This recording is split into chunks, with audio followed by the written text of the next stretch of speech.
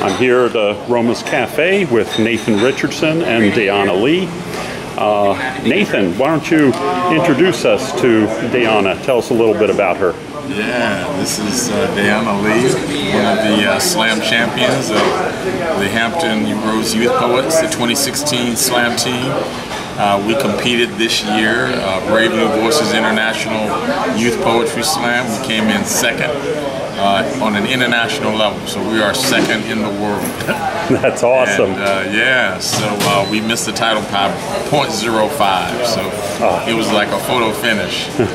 but uh, you know, the organization, the parent organization is Teens with a Purpose, which was founded by Miss Deirdre Love and so it's a year-round youth organization, peer-led organization, and poetry is just one of the elements of, of that organization. Poetry, uh, music, hip-hop, rap, dance, any uh, any talents that teens have, they can use those talents to affect change in other uh, in other teens. So Dayana is uh, is the shining example of all of that.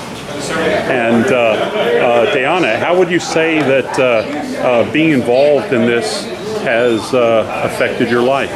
Um, being involved in poetry has uh, helped me to learn to be more selfless and uh, really understand how powerful uh, the power of the tongue is and learning how I can use my words to be like a weapon of a movement um, and how I can change someone's life who's going through something and how um, powerful a poem can really change someone's perspective. Someone can walk out feeling like they don't want to continue on and then um, hearing my words, it can be that one thing like like that one last bit of hope that they needed to to keep it going.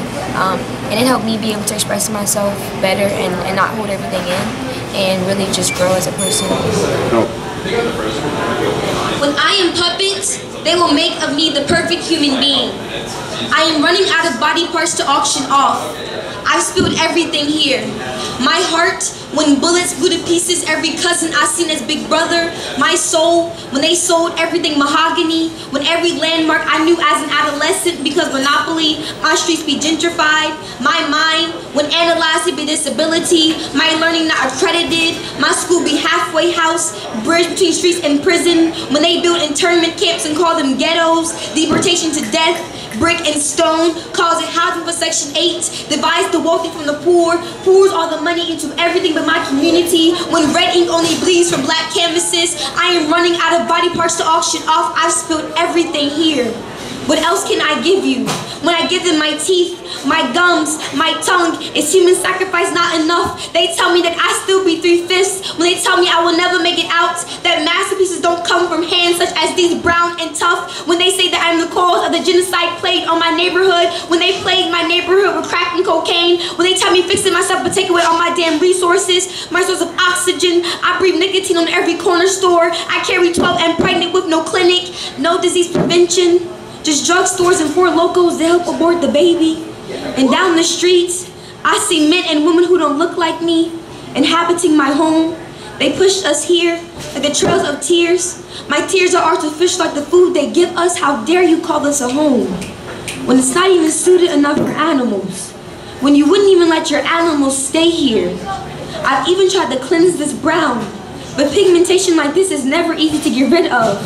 Every time you try to make me conform my body and mind rebel black was never meant to be ordered by the likes of you, never crafted to be puppet, but birthed to be anointed, handcrafted by God, handmade, handpicked, hand-stitched. I am a real girl, I am a real boy, real blood, real tears, I am human.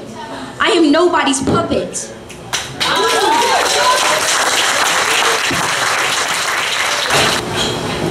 Slow it down with this next piece. Mommy, if I was born, I tell you that you're beautiful every day. You remind me of the angels that I see here, pieces of art.